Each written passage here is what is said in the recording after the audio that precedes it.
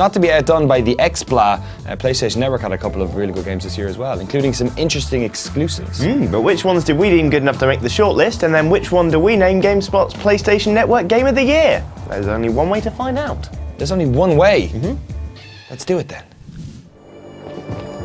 The nominees for PSN Game of the Year are Closure.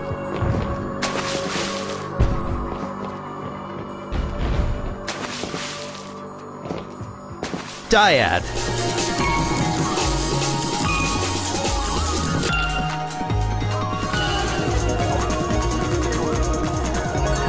Journey.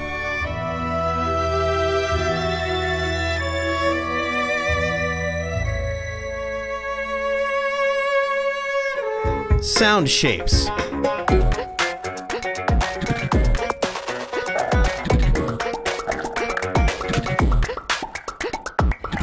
The Walking Dead. I don't know much about you folks, but y'all keep going on like this, that girl ain't gonna make it. And the winner is Journey.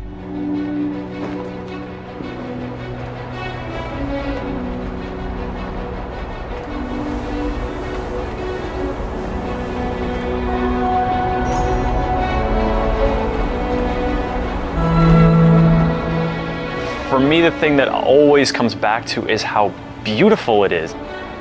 So, but it's important to note that, you know, the power that it has over you emotionally come from several different areas. One is this, this wordless person that can join you.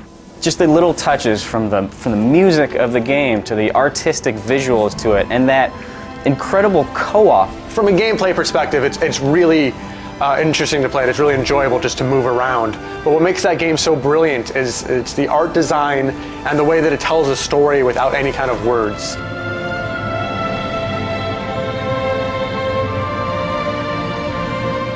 Trudging up the sand and then like sliding down and getting in your buddy's face and going and doing the chime stuff. Like even when you're not having something that tugs at your heartstrings, you can still have a lot of fun with that game. Even though the game itself is not a challenge, it really communicated through the way you move through the world that you've really overcome something.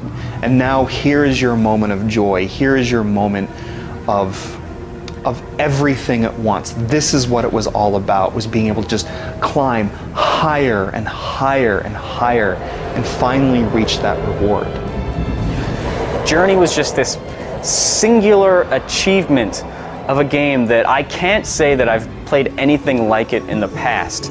Just that, you know, that that story that unfolds in the game is so incredible and so unlike anything else that I've ever played. It's powerful and it does it through such simple means and that's that's really something.